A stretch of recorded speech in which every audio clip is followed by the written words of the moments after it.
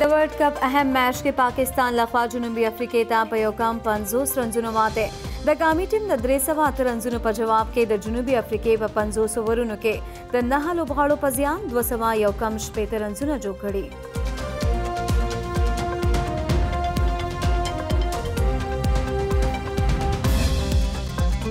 د جنوبي افریقې خلاف میچ کې د پاکستاني بالرانو زبردست بالینګ وهاب ریاض او شاداب خان درې درې وکټې اغستې محمد عامر هم دوه لوبغاړي آوټ کولو کې کامیاب شوی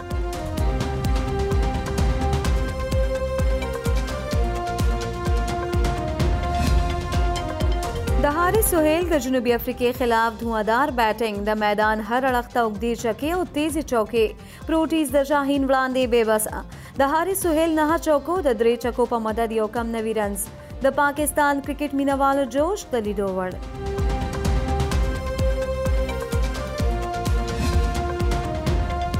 د بابر اعظم لخوا هم د افریقې خلاف دھواندار بیټنګ بابر اعظم د پاکستان بیټنګ لاین ته زبردست بنیاد ورکړو د ګراوند ټولو طرفونو ته د بابر اعظم خوندورې چوکې د بابر اعظم و چوکو په مدد یو کم ویارنس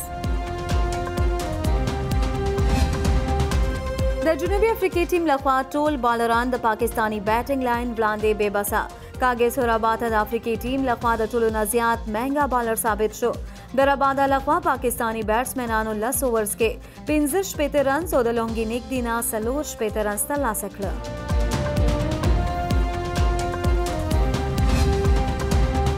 آرمي چیف جنرال قمر جاوید باجوا هم د پاکستان او جنوبي افریقې ترمنځ میچ کتلو لپاره سټیډیم ته تللی آرمي چیف سره د پاک فوج ترجمان میجر جنرال آصف غفور هم موجود په ګراوند کې موجود پاکستانیانو د آرمي چیف پر راتګ د خوشحالۍ اظهار د پاکستان زنده باد نارې هم وهلې.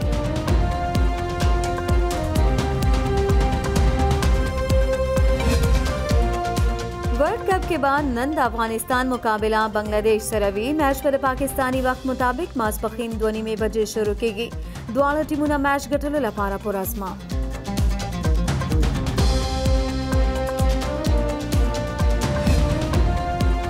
د روانې میاشتې دیرشم تاریخ نه پس به د خفیه جایدادونو ساتونکو خلاف کاروایی کولی شي حکومت د غیر رجسټر جایدادونو شمیره راټوله کړې ده کومه چې د فیډرل بورډ اف ریونیو ویب سایټ باندې موجود ده د ریوینیو وزیر مملکت محمد حماد اظهر وینا وایي زیات نه زیات محصولات وصولۍ لپاره د نان فایلرز خلاف به کاروای کیږي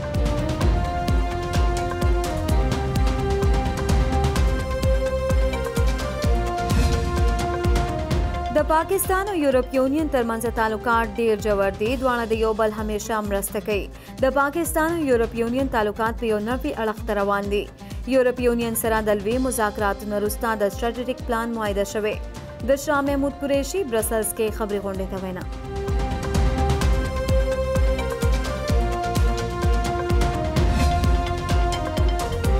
شریف خاندان په مکمله توګه متحد دی مخالفینو لخوا د شریف خاندان خلاف د تیر دیش کالو راهیسې د بې اتفاقۍ په اړه د دروغو پروپاګنډې کولی شي زما تیر ورځنی بیان په غلط انداز کې پیش کړی شوی د کوم له وجې چې زما او د شهباز شریف زړه ازارې شوی د نون لیګ نایب صدرې مریم نواز ټویټ پیغام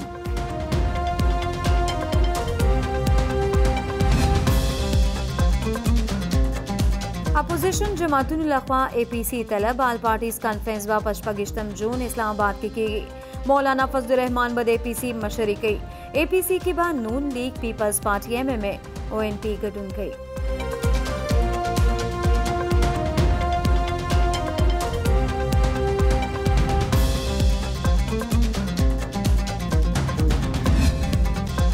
د الیکشن نه پس ټولې پارټیانې په دې خبره متفق وې چې په الیکشن کې دھاندلې شوې ولې دې نه پس ټولو پارټیانو د حکومت سره ملګرتیا وکړه د کومې نتیجې چې اوس مخې ته راغلي که چېرې عوام دښمنه بجټ پیش کړی شو نو ولس به د دوه وخته روټۍ اخیستو نه هم وځي د حکومت خلاف راتلونکې لاهمل فیصله به په آل پارټیز کانفرنس کې کولی شي د جې یو آی د ریس ملکې په دوباره ټاکنې کول دي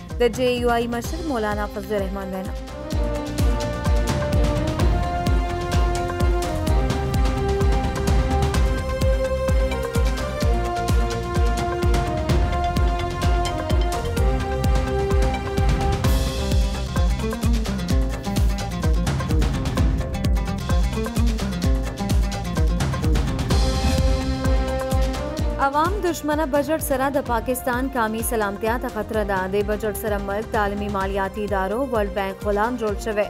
نا اهل حکومت ملک چلولو کې ناکام شوی د پاکستان ترقی په سیاسي استحکام کې ده ملک کې حقیقي جمهوریت لپاره به هلې ځلې جاري ساتو د سېنټ پخواني چیئرمین او د پیپلز پارټۍ سینیئر غړي رضا رباني وینا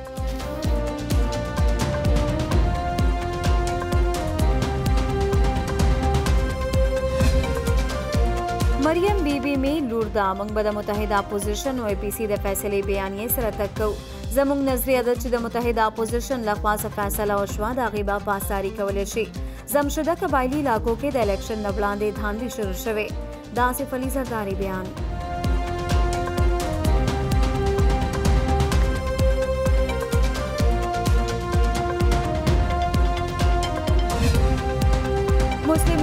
په خپل 15 کاله دور کې دومره قرضه نه د اغستې څومره چې نالایق حکومت په لومړي یو لس میاشتو کې اغستې ده د نالایق او نااهله خلکو کمیشن به ضرور جوړیږي د مسلم لیګ نون نائب صدرې مریم نواز ټویټ پیغام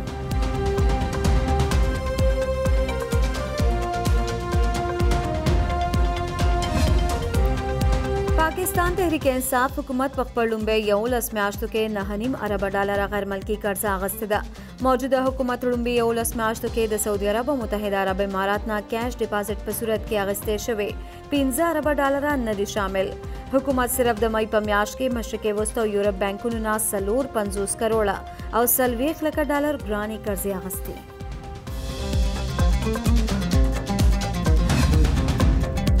مسلم لیګ نون د خپل 15 کاله لزر ارب روپۍ قرض اغستو ترقیاتي کارونو کولو ریکارډ لري د ټولو سوالونو ترقیاتي کارونو د قرضو په اړه په هر پلیټ فارم جواب ورکولو ته تیار دي د نون لیګ سینیئر غړي حسن اقبال کامیس حمله کې وینا وای حکومت لسو میاشتو کې پنځه نیم اربه زره اربه روپۍ قرضه اخیستې د هغې حساب به اپوزیشن کوي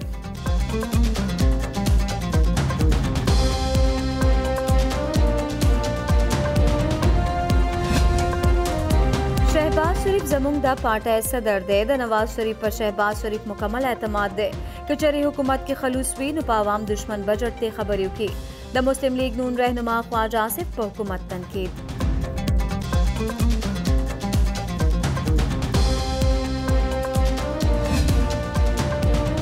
عمران خان یوټرن دروغ نه بلکې سیاسي بصیرت دی د حکومت خلاف اي پي سي هیڅ اهمیت نشته مولانا فضل الرحمن د خپل شوق پوره کې حکومت به د ولس بهترۍ دپاره خپلې هلې ځلې جاري ساتي وفاقي مذهبي امود نورالحق قادري وینا وایي د مدرسو رجسټریشن کول یو غوره ګام دی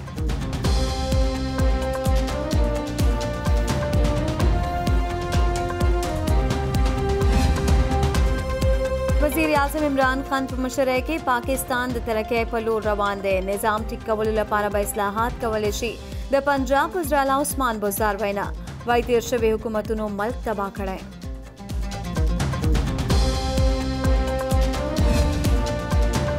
یو سیاسي جماعت کې د شاملېدو فیصله به وخت راتلو سره کوم د موجوده حکومت ویزا پالیسي انتهایی ناقصه ده د اوپن ویزا پالیسۍ سره به ټوریزم ته وده نه ترلاسه کیږي بلکې د پاکستان په پا مشکلاتو کې به ورسره اضافه کیږي پخوانی داخله وزیر چوهدري نثار علي خان په حکومت سخت تنقید و ایمنیسټي سکیم زاړه شراب په نوې بوتل کې د اچولو مترادف خبره ده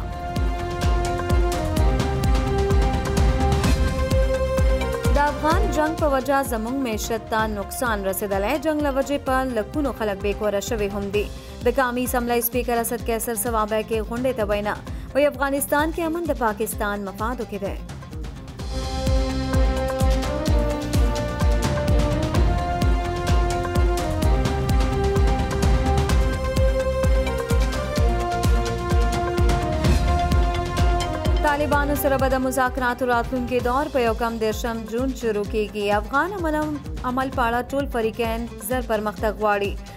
د افغان امن عمل په اړه د امریکې خصوصي نماینده زلمی خلیلزاد وینا وای طالبانو سره به مذاکرات د افغانستان او قطر د اوسنو دورو په بنیاد کیږي مقبوضه کشمیر کې بھارتی فوج لخوا ریاستي ترهګري جاری بھارتی فوج لخوا ظلم او جبر سره سلور کشمیری ځوانان شهیدان قابض بھارتی فوج ضلع شوپیا په علاقہ ډرام ډورا او کېګا محاصره کړي او کور په کور یې تالاشي اغستې د کشمیر میډیا سرویس وینا وایي ګوډاګې انتظامیې لخوا سیمه کې انټرنیټ سرویس هم معطل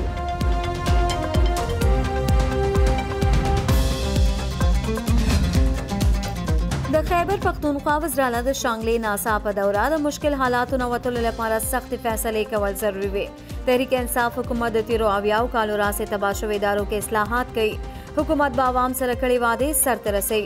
د وزیر اعلی محمود خان وینا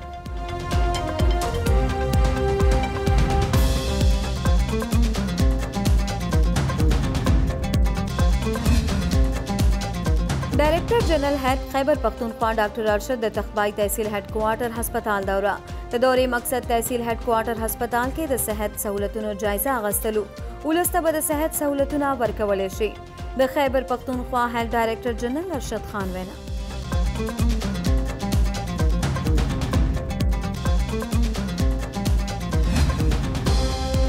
پېښور کې د رهزنۍ او شکو واقعاتو کې زیاتوالی ګلبهار کې رهزنو د یو تن نه پیسې او موبایل په زور اخیستلي ولس د عدم تحفظ کار پولیس واقعاتو مخنیوي کې ناکامه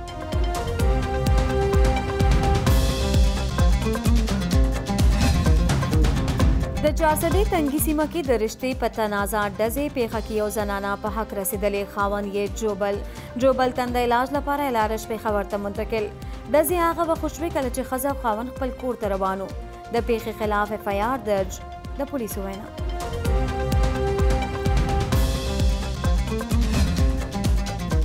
ایتوپیا کې د حکومت خلاف بغاوت کوشش ناکام، د ایتوپیا چیف آف آرمي سټاف باندې حمله، حملې نتیجه کې آرمي چیف جنرال مکین مړ، ایتوپیا کې د انټرنیټ سرویس معطل، مختلفو سیمو کې کړکېچن حالات. د باغیانو سکیورټي فورسز تر منځ نښتې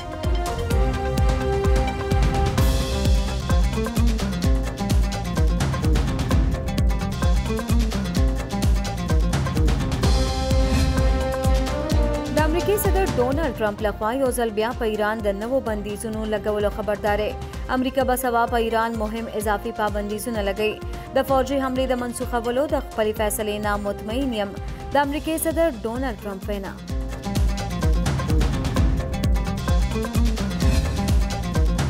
که امریکې د څه نوعیت حمله وکړه د نه مشرق وسطا کې به مفادات په خاورو کې خاورې کې ایران لخوا امریکې ته خبردارې د ایران بریګیډیر جنرال عبدالافضل وایي د ایران لخوا چلول کېدونکې یوه ګولی به هم په مشرق وسطا کې د امریکې او د هغوی د اتحادیانو مفادات خاورې کې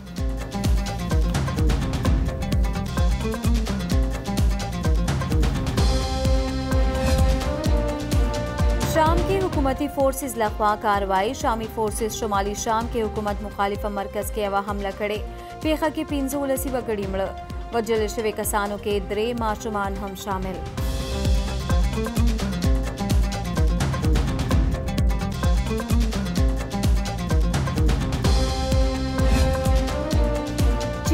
طوفاني بارانونه بارانونو لوجې څلور کسان بې درکه د باران نه پس سیلاب د ژوند ټول نظام خراب کړي د غیر ملکی میډیا وینا و امدادي ټیمونه متاثره علاقو کې امدادي کاروایانو کې مصروف دي